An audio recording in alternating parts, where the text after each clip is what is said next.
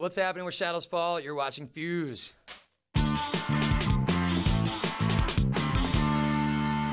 please follow the leader. So Eric B. We are microphone fiend. It's the return of the God. Peace God. I just was in Brooklyn watching the indie bands and watching the Grizzly Bear perform.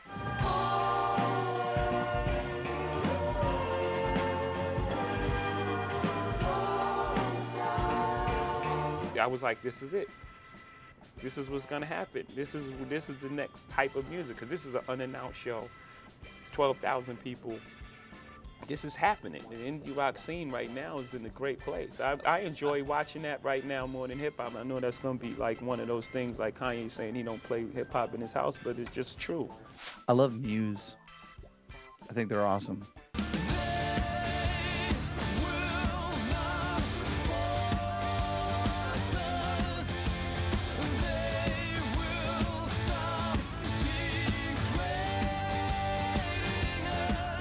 They're enormous outside of the United States, like beyond enormous, and like, uh, and and yet they still really haven't found their their niche in the U.S. quite in that same way. I mean, I suppose they may not necessarily quite cross over to into that level of ridiculousness in the U.S., but it's always possible.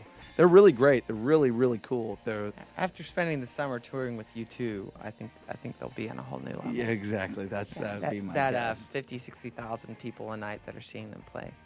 Probably get some fans. But I gotta eat, gotta get another plate. So I'm on my cakewalk for the cake. I walk these streets. Jill Scott, man, uh, the the material she do, man, it, it's new, it's fresh. You know what I mean? It, it's it's conscious.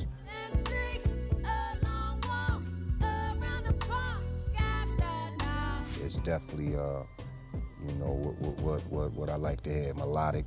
So um, big up Jill Scott. We need another one of those.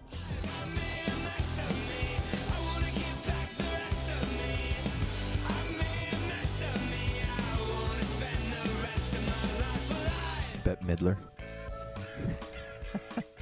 I'm gonna go with Ibrahim Ferrer down from Cuba. There's no embargo on him. I just got turned on to his music like a couple weeks ago, and I'm just like